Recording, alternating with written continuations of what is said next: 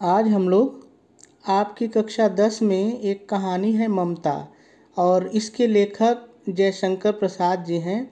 आज हम लोग इसके सारांश को देखेंगे।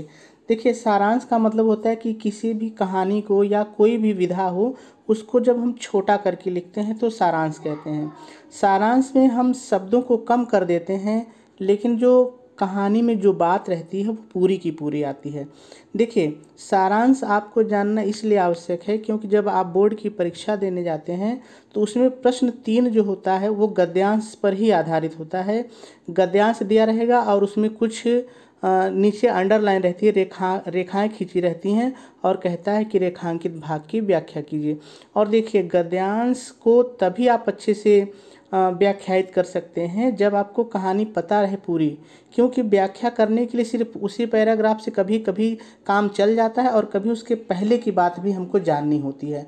इसलिए आप सारांश को ध्यान रखिए, यानी कि कहानी को ध्यान रखिए कि आखिर कहानी में बात क्या कही गई है। तो चलिए मैं आपको छोटे में मैंने कहानी को छोटे में लिखा है, सारांश लिखा है और आपको मैं इस सारांश को सुनाता हूँ। आप ध्यान से सुनिए और देखिए कि आखिर इस कहानी में क्या कहा गया है। ममता रोहतास दुर्ग के मंत्री चूड़ामण की अकेली पुत्री है, जो बचपन में ही विधवा हो गई है। एक दिन सुबह वह अपने दुखों में डूबी हुई थी, तभी उसके पिता चूड़ामणि उसके पास अपने दस सेवकों के साथ आ जाते हैं।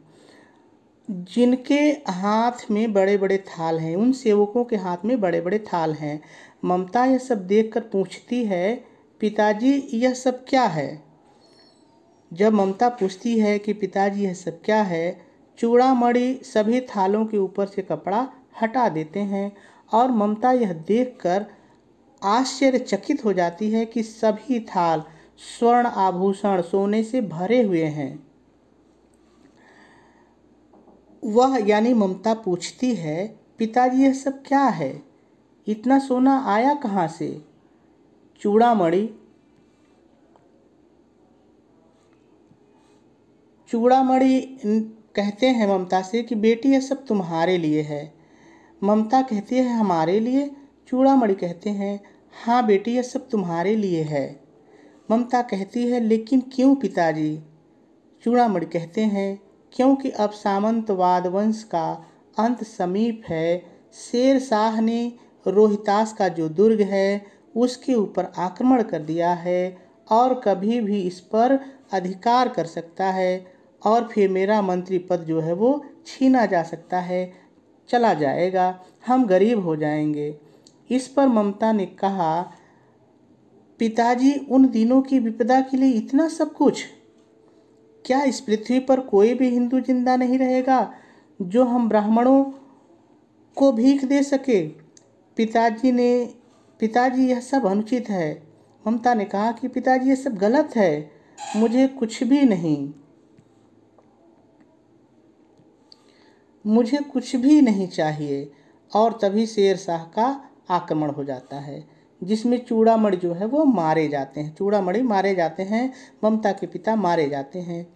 किंतु ममता बचकर निकल भागती है और वाराणसी में मौर्य तथा गुप्त शासकों के द्वारा जो भवन बनवाए गए थे, जो घर बनवाए गए थे, अब वो टूट करके खंडहर हो चुके थे।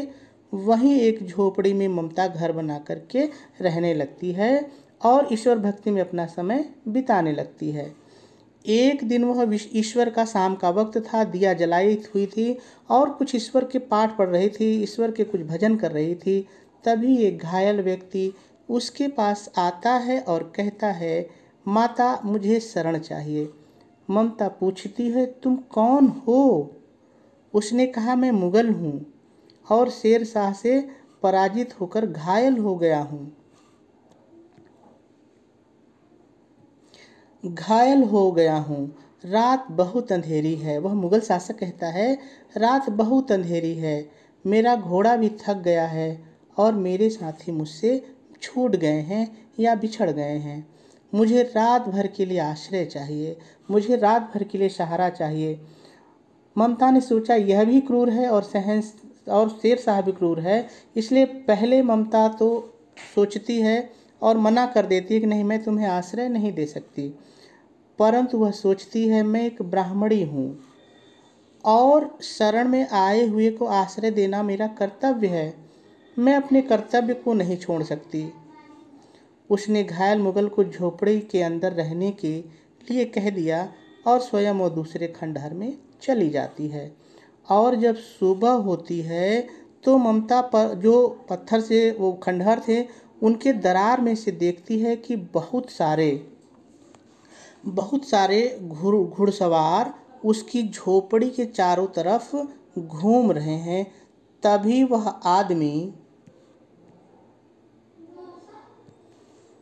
झोपड़ी के बाहर निकलता है और कहता है, मिर्ज़ा, उस स्त्री को ढूंढो। ममता बहुत डर जाती है। वे सब उसे बहुत खोजते हैं, लेकिन ममता वहाँ से भाग जाती है और उन्हें नहीं मिलती है। इस पर वह व्यक्ति कहता है कि, मिर्ज़ा, मैं उस स्त्री को कुछ दे नहीं सका। वो जो मुगल था, वो कहता है कि मिर्ज़ा, मैं उस स्त्री को कुछ नहीं दे सका। तुम उसका घर बनवा देना।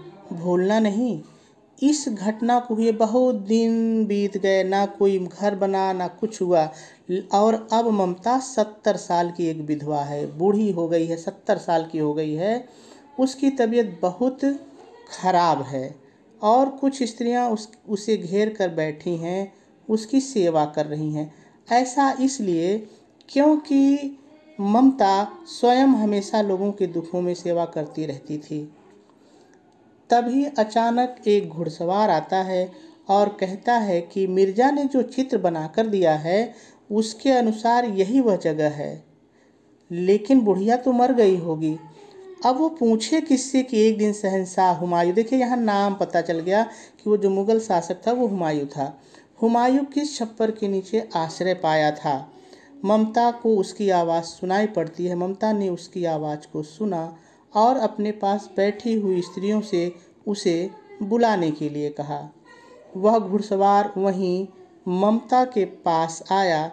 ममता ने कहा, मैं नहीं जानती वह कौन था। वह कोई वह कोई मुगल सम्राट था या कोई साधारण आदमी पर एक दिन वह इसी झोपड़ी के नीचे रहा, इसी झोपड़ी में आराम किया था। मैंने सुना था कि वह मेरा घर बनवाने की आज्ञा दे चुका है। मैं आजीवन अपनी झोपड़ी के खोदे जाने के डर से भयभीत रही, डरती रही। अब मैं इस अपनी झोपड़ी को छोड़कर जा रही हूँ। तुम चाहे इस पर मकान बनवाओ या महल, और इतना कहते ही ममता मर जाती है, उसके प्राण पखेड़ू उड़ जाते हैं। वहाँ पर एक भव्य, बहुत बड़ा मंदिर का निर्माण किया गया और उस पर एक पत्थर, एक शिलालेख लगवाया गया। शिलालेख लगवाया गया। और उस पर लिखा गया, उस पत्थर पर लिखा गया, सातों देशों के नरेश शहनशाह हुमायूं ने एक दिन यहाँ विश्राम किया था। उसके पुत्र अकबर ने उसकी स्मृति में यह गगनचुंबी मंदिर बनवाया है। पर उस पर ममता का कहीं नाम नहीं था। जब हुमायूं ने कहा था कि यहाँ एक इसका बुढ़िया का घर बनवा देना तो हुमायूं तो मर गया, लेकिन जब उसके बेटे ने वहाँ पर मंदिर बनवाया तो वहाँ पर ममता का कहीं भी नाम नहीं था। और यहाँ पर इस तरह से कहानी आपकी ख़त्म हो जाती है। अब ये सारांश था कहानी का, आप इसको एक दो बार सुनिए और फिर अपने आप से लिखने का प्रयास कीजिए और फिर जब भी व्याख्या आएगी परीक्षा में तो आप आराम से कर ले जाएँगे, क्योंकि व्याख्या में कुछ ऊपर की चीज़ें, नीचे की चीज़ें भी आपको मालूम होनी चाहिए। ठीक है, आज इतना ही। मेरे साथ यूँ बने रहिए। आगे हम किसी एक और कहानी का सारांश लेंगे और आपको बताने का प्रयास करेंगे।